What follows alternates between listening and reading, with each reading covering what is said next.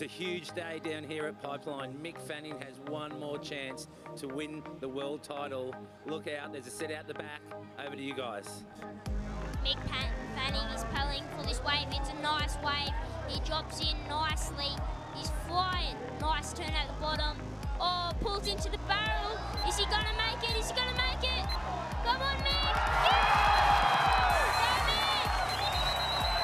Great way from Mick. Great to have another Aussie world title in the bag. Sensational commentary, by the way. And you know what? We'll be back with more after this. Sensational.